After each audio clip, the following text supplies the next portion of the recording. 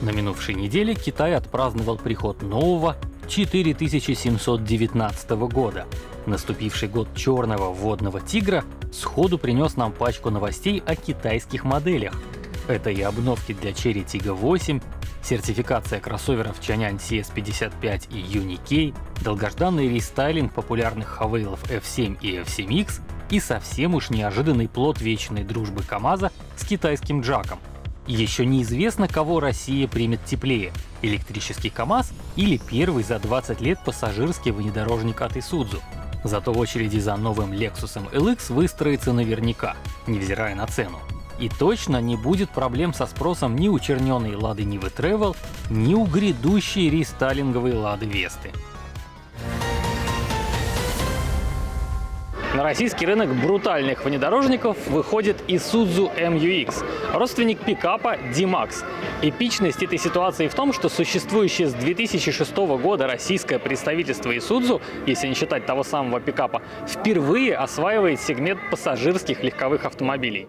MUX — это классический рамный гряземес с более чем 20-сантиметровым дорожным просветом, зависимой задней подвеской, жестко подключаемым полным приводом, понижающей передачей и блокировкой заднего дифференциала. Подобную технику японская фирма выпускает уже 40 лет, но в последние два десятилетия у российских дилеров таких Isuzu не было. Интересно, почему?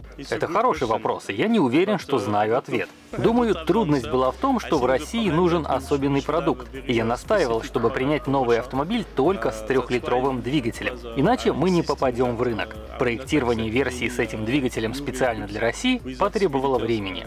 В родном Таиланде у внедорожника есть мотор 1.9, но для России главным и единственным выбран трехлитровый четырехцилиндровый дизель заслуженной J-серии, которая восходит еще к 80-м годам. У нас же мотор ставится не только на пикап D-Max, но и на коммерческую технику. Отсюда и межсервисный интервал 20 тысяч километров. Isuzu намерена стать лидером в сегменте, и при таком напоре логично спросить, не планирует ли собирать модель, например, на собственном заводе в Ульяновске. Я думаю, это возможно, но не сегодня. Мы должны быть уверены, что сможем продавать 7-8 тысяч автомобилей в год. И после этого мы рассмотрим возможность локального производства. Принципиально мы не против локализации. Например, мы выпускаем здесь коммерческие модели, а внедорожник как продукт даже лучше подходит России. Но нам нужен объем, чтобы оправдать затраты. Что же до модификаций, то их будет всего две. Обе трехрядные, семиместные и с безальтернативным шестиступенчатым автоматом iSyn. Базовая комплектация Comfort включает тканевый салон и 7-дюймовую мультимедийку, а версия Premium Safety — это кожаная отделка с электроприводом водительского сиденья, 9-дюймовая мультимедиа и довольно продвинутый комплекс электронных помощников с адаптивным круизом и автоторможением. 1 марта Isuzu попадает в конкурентную среду где уже есть другие внедорожники, родственные пикапам. Это Toyota Fortuner и Hilux, Mitsubishi Pajero Sport и L200 и с натяжкой Havail H9 и Great Wall Power. Чем крыть ценой? Обе комплектации Isuzu должны быть дешевле 4 миллионов рублей. Продолжим тему японских внедорожников. Но перед тем, как раскрывать рублевые цены Lexus LX, уделим внимание родственной ему Toyota Land Cruiser 300. Официально крузак стоит от 6 до 8 миллионов рублей, но по всему миру за ним выстроились грандиозные очереди, поэтому дилеры не стесняются отступать от рекомендованных цен. В России самые простые трехсотки уходят клиентам по 9-10 миллионов рублей, а хорошо упакованные аж по 12. И ведь действительно уходят, не застаиваются. Вот что значит магия бренда. За сколько тогда будут отдавать Lexus LX? 300-сильный дизельный вариант по прайсу стоит 8,5 миллионов рублей. Так что, скорее всего, в реальной жизни за флагман японского бренда попросят от 12 до 15 миллионов.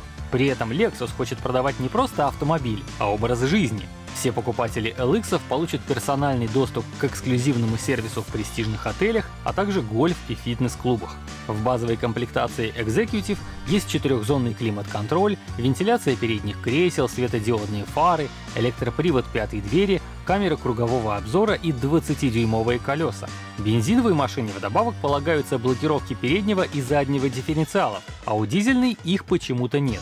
Кроме того, для дизельных Lexus нельзя заказать трехрядный салон, но, как уверяет представительство, это временное явление. В свою очередь, роскошное исполнение VIP лишено дизеля из имиджевых соображений.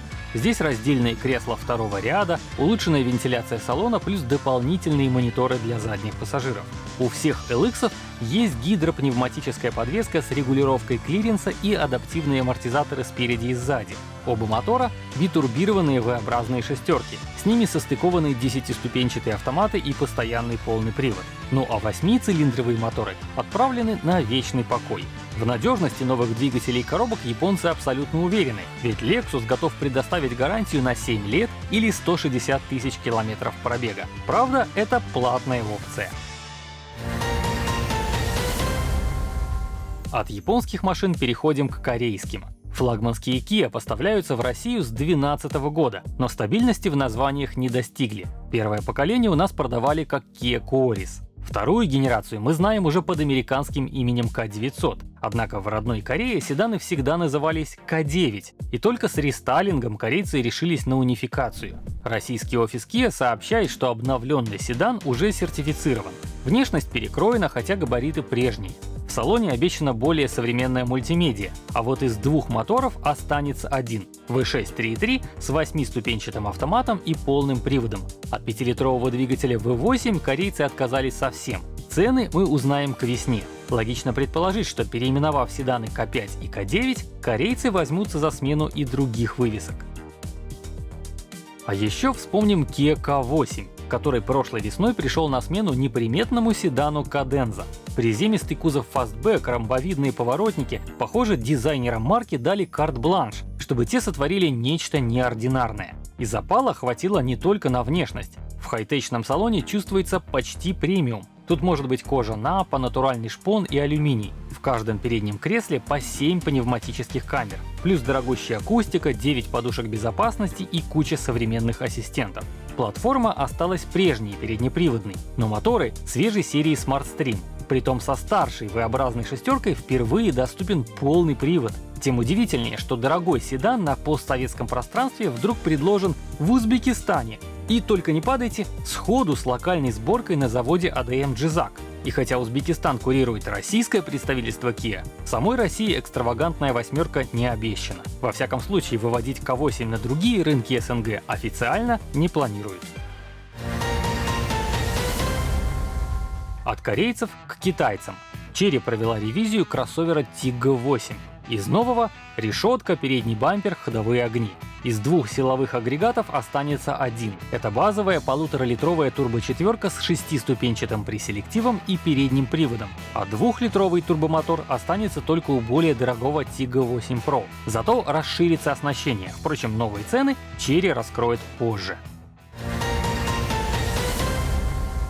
Марка Чанянь – большой и успешный на домашнем рынке автопроизводитель, однако попытки покорить сердца россиян пока срываются. В начале десятых марка хотела зайти в Россию через компанию Ирита, а в 2019 году решили действовать сами, наняв опытного Сунь Цзэцзюня. Китайцы ценят его за продвижение бренда Лифан.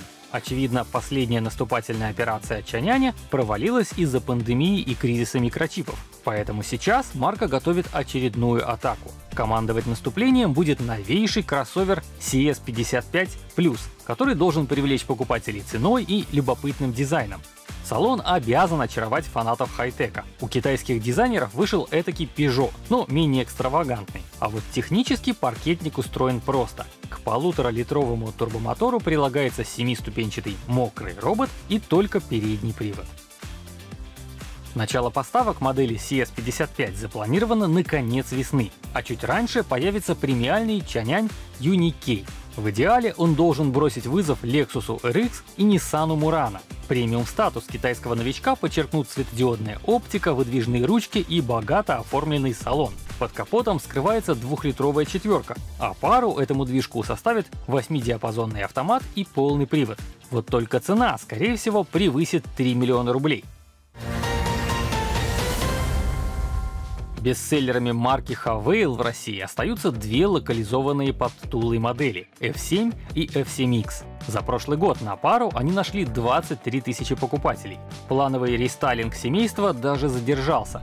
Сертификационные снимки в Китае показывали еще год назад, но производство свежих кроссоверов началось только теперь, причем именно в России. Ведь сами китайцы на минувшей неделе, праздновавшие наступление 4719 года имени Черного водного тигра, поставить на конвейер обновленной эвки пока не успели. А вот российский офис Хавейла рапортует, что готов начать продажи машин уже в феврале. По сути, модернизация вышла скромной. Нетрудно заметить лишь расширенную решетку радиатора да бампер с характерными клыками и новыми противотуманками.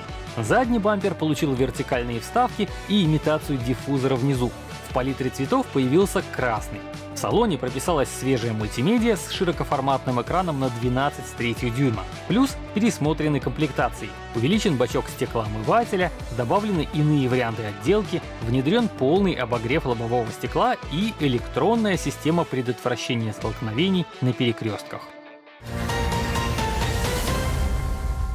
Следующая новость о русско-китайской дружбе. Когда КАМАЗ предъявил публике электромобиль КАМА-1, многие воскликнули «Вот она, современная реинкарнация АКИ». Вот только первоначальному проекту придется здорово трансформироваться, а может вообще оказаться копией китайского автомобиля. Как известно, электрическую КАМУ-1 разработал петербургский политех, Однако заднеприводная трехдверка пришлась не ко двору, поэтому концепцию легковушки для такси и каршеринга пришлось поменять. Фактически сейчас стоит задача создать совсем другую машину — переднеприводную, более мощную и пятидверную. Под легковую модель выделят производство за пределами КАМАЗа. Для выпуска электромобилей на территории нет ни лишних мощностей, ни персонала. Притом начать сборку Камы планируется не позднее 2025 года. Это рекордно короткий срок, в который даже купив готовую силовую установку уложиться почти невозможно. Если, конечно, не схитрить. Как сообщает российская газета, в набережных Челнах раздумывают над тем, чтобы взять за основу китайский Сихао i10X.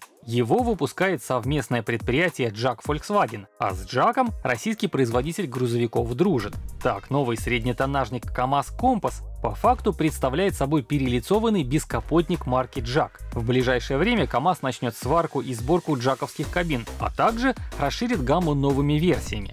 Что касается легковушки Сихава, то это компактная пятидверка сантиметров на 15 длиннее Матиза. В Китае для нее предлагаются моторы на 40 и 60 сил, а также три варианта аккумуляторов. На одной зарядке китайский малыш может преодолеть от 150 до 300 километров. Притом стартовая цена модели приемлемые полмиллиона российских рублей. В любом случае, КАМАЗ хочет выпускать электромобиль не только для России, но и для Европы. Маленький электромобильный заводик мощностью 30 тысяч машин ежегодно планируется основать в Венгрии. А закончим эту программу нержавеющей темой Лады. АвтоВАЗ решает проблему с плясовым проводом стартера, из-за которой сгорели несколько новеньких НИФ. Ошибку выявили оперативно, однако на выдачу товарных машин клиентам наложен запрет. В итоге на складах томятся 2700 автомобилей, и сейчас дилерам предстоит исправить ошибку сборщиков. Другая новость со знаком «плюс». Появление черной версии Travel. Такая Нива имеет темные корпуса зеркал, расширители колесных арок, а также вставки на бамперах. В салоне оригинальная обивка сидений, черный потолок и штатные текстильные коврики. На этом перечень особенностей версии Black завершен. Цена 937 тысяч рублей, то есть на 36 тысяч дороже исходной версии Comfort. 13 мая на Смоленском кольце стартует сезон российской серии кольцевых гонок. А сейчас на Сочи автодроме прошли учебно-тренировочные сборы лицензированных пилотов Российской автомобильной федерации. Команда «Лада Спорт Роснефть» привезла на них рестайлинговую «Весту» в гоночном исполнении TCR, разумеется. Правда, машина плотно заклеена камуфляжем, поэтому рассмотреть детали почти невозможно. Зато теперь мы знаем, что премьеру гражданской «Весты» проведут не позднее мая. По нашей информации, вазовцы заняты сейчас доводкой электрической части. Вообще, корпоративная стратегия под названием Renolution, представленная годом ранее, твердо требовала от марки Lada до 2025 года перевести все модели на платформу альянса Renault-Nissan. Из этого следовало, что выпуск нынешней Весты будет прекращен, что косвенно подтверждали вазовцы. Однако вскоре сменили риторику. Модель может и должна жить дольше. И вот, как сообщает портал Дром, решение принято. Веста будет выпускаться до 2028 года включительно.